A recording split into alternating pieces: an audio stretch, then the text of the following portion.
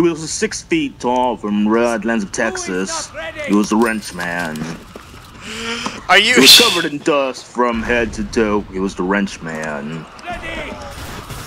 He had a southern accent. He was great with machines. He was the wrench man. Let's go. With a wrench that crit 50% of the time, he was the wrench man.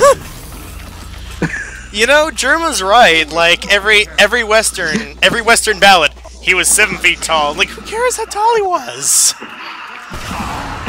Yeah, and and by the way, uh, canonically the engineer is five five, so he was five feet tall and five feet tall. He was the wrench man.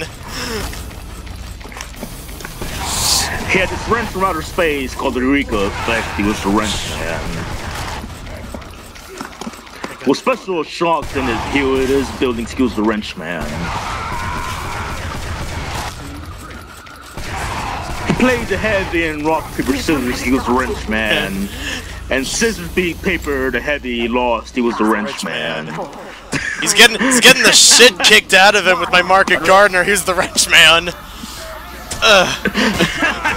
Oh, the Solly Bird? The Solly Bird thinks he can try? I'm not the Solly Bird. I'm the Solly Air Force. You know? Penis cupcake. Banana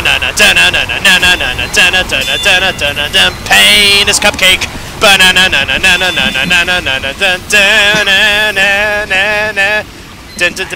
Penis cupcake. Yes, penis cupcake. Banana, I, Jeroma.